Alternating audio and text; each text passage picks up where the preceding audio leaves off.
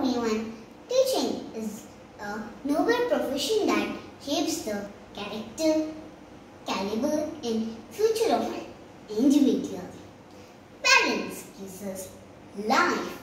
Teacher teaches us the art of living life.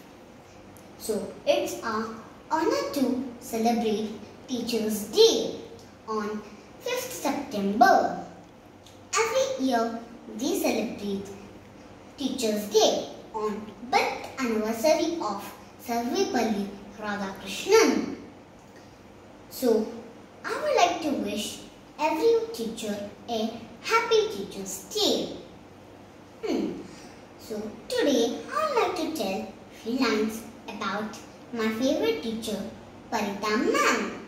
She is my KG1 teacher.